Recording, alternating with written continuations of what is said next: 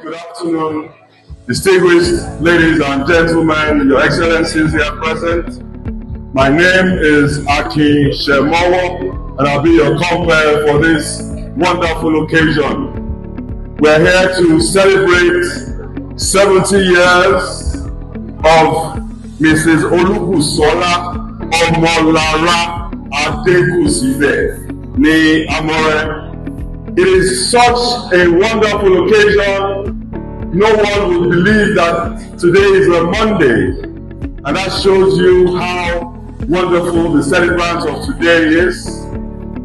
Today I will be talking less. We'll do more enjoyment, more music, and less talk. So without further ado, I'd like to invite to give the opening prayer for the second segment of our birthday celebration. Please welcome Pastor Tom Ogboye to give the opening prayer.